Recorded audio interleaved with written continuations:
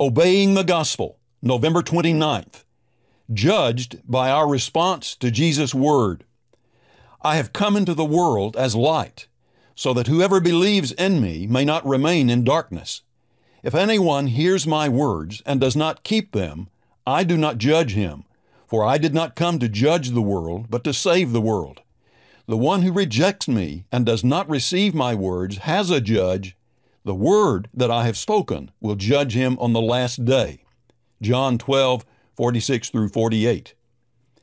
When we hear the words of Jesus Christ, we have a decision to make. The question we must answer is actually two questions. Is it true? And if it is true, what are we going to do about it? No decision we ever make in this life has greater consequences. In these daily meditations, we've emphasized that our response to God's initiative is a matter of choice on our part. The gospel comes to us in the form of an invitation. From the depths of His great heart, our Lord is saying to each of us, Come to me. Matthew 11, 28. But while the freedom our Father has given us is a magnificent blessing, it entails a serious responsibility. Looking back at John 12, Observe how Jesus describes the two paths that we must choose between. In verse 46, he had spoken of whoever believes in me. That's the first path.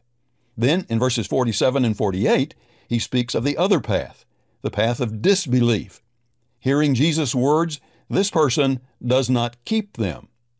Refusing to believe, he rejects me and does not receive my words, Jesus said. So to disbelieve is not merely to be uninterested or unconvinced. The decision not to receive or to keep Jesus' words is a decision to reject him. If what he taught is false, that's precisely what we should do. But what if it is true? In that case, we will have rejected the message that could have saved us and sentenced ourselves to eternal death. The word that I have spoken, Jesus said, will judge him on the last day. If we are lost, it will not be because we couldn't be rescued, but because we rejected our rescuer.